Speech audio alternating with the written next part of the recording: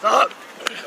Ian Abrahamson was always the big bulldog. Growing up playing youth football, I was always over the weight limit, so I was never able to. I was always the lineman.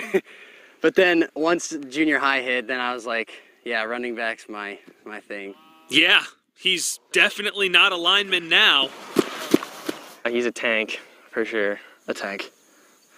An absolute tank. I definitely am not the quickest running back. Uh, definitely just lower the shoulder and go through people is what I try to do. So You know, he certainly may not have that top end sprinter speed, but uh, he's got speed enough to, you know, break the 50 and 60 yard runs for sure. And, uh, you know, he, he, while he brings that kind of bulldozer mentality, he also has enough shift to him that I think he makes it awfully tough on people. But being shifty isn't Ian's specialty. the hitting, it's so fun.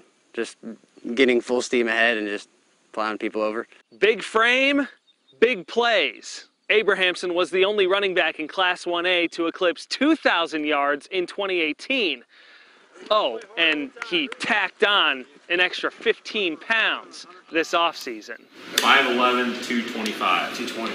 I've been lifting six days out of seven days a week, and yeah, it's pretty. It was pretty intense this year. Added strength not only as a rusher, I didn't play both ways last year. but also as an edge rusher. You don't have to worry about the ball.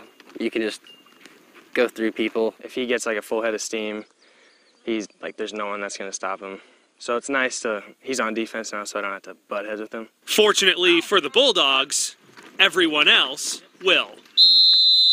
In Van Meter, Mark Freund, Channel 13 Sports.